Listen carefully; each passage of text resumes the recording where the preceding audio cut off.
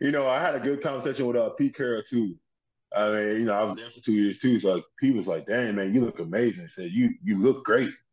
You know, they said, "We just want to see see you move. You moving good. Hey, you you don't know where you're gonna go." I said, "Yeah, you, you're right, Pete. I, I don't know where I'm gonna go." but honestly, I I think it, it went really good. I, I had a lot of handshakes shakes like, like after that pro day. A lot of teams start coming up to me talking "Hey, I'm happy about that transformation, man. You, you needed that. You look great."